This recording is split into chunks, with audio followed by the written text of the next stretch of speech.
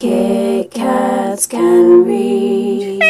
What a bright time, it's the right time to rock the night away. What do ghosts eat? Goulash.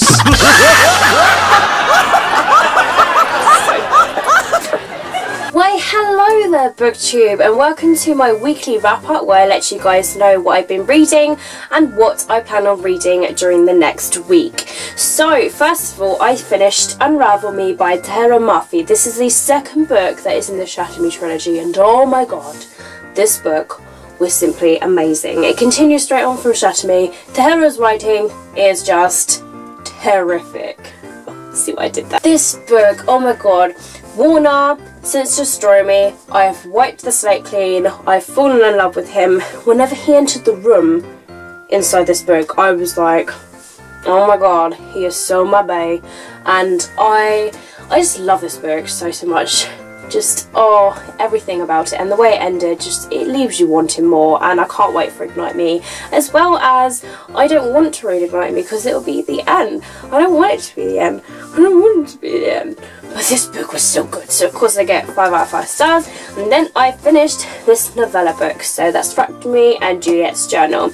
And Fracture Me is told from Adam's perspective whereas Destroy Me which I read last month is from Warner's. Now even when reading this from Adam's perspective I still love Warner I have a thing for really bad guys come across with that sort of vibe and Adam is like the good boy sort of thing and I'm just like go away, you're, you're, go away. I mean, I, I, I like him, but I just don't like him as much as Warner. And yeah, so I really, really enjoy this novella book. And what I liked about Fracture Me was that it goes from Adam when he splits away from Juliet, so we get to see what happened with Adam's side, and it just makes it more interesting to see what happens in Ignite Me. So of course I gave this book 5 out of 5 stars. And the final book that I completed this week is My True Love Gave to Me, which is edited by Stephanie Perkins and the stories are written by so so many authors. 12 winter romances are inside this book. Some of these stories I gave 5 out of 5 stars and the majority and the rest of them I gave 4 out of 5 stars. So none of them were terrible for me. I really enjoyed all of them. A couple of them I was a bit like, it's a bit odd, but I still kind of like it, you know, that sort of thing. But I must say, Rainbow Rowell's one and Ally Carter's one were literally the ones that I was like, oh my god, so so good. But it's definitely perfect for Christmas. I did do a review on this. I will link it down in the description box below if you would like to check out my full thoughts on this book. But yeah this book was really really good. So overall I give it 4 out of 5 stars. And now I'm going to move on what I'm currently reading which is Wicked by Jennifer L. Armentrout this is her new new adult paranormal story. And I believe this is going to be a trilogy because it says here Wicked Trilogy. That's how I know. And this book is actually self-published by Jennifer. Armentrout herself. She does have published books, but inside here it actually does say published by Jennifer L. Armentrout. So kudos to JLA for doing that. She is awesome. As you can see, I am past the halfway mark at the moment. It's really, really good. This book is so, so good. You don't come across a lot of new adult paranormals. You have a lot of new adult contemporaries. And if you don't know new adult, just contains a lot of sexy times normally. Or things that are in YA but a bit more extreme. So blood, guts, and everything that's just a bit more disturbing. Rape, sexual abuse. It's a bit more extreme. And it seems more realistic and it doesn't seem as fake. So that's what I like about new adult books. It's not hushed down like it is in young adult books. This book is really good. There are these creatures called Fae in it and basically the main character, she has to help get rid of them. And there is this mysterious one that's an ancient that is being very, very difficult to get rid of.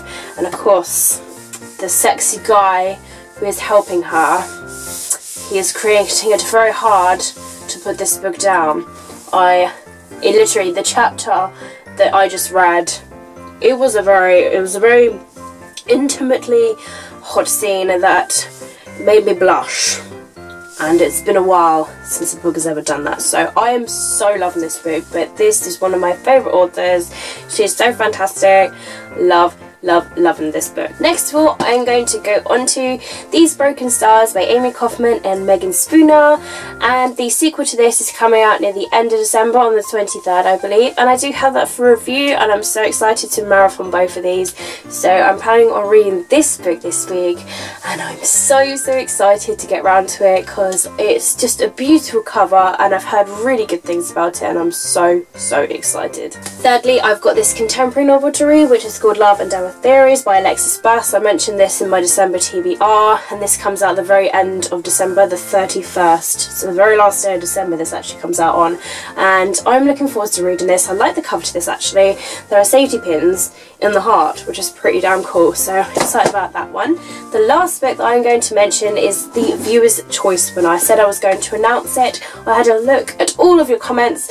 You commented on my video, on my Instagram and on my Twitter, and I had all the votes up, and this is the winning book, which is Not a Drop to Drink by Mindy McGinnis and I'm so excited to read this book. Thank you to everybody who did vote, honestly it means the whole world because I like to involve you guys into what you would like me to read and I look forward to reading this and hopefully I shall do a non-spoiler review for this so I can upload it to let you guys know what I thought about it in big detail and I'm I'm just I'm so excited about this book so thank you thank you and I look forward to beginning this next week at some point.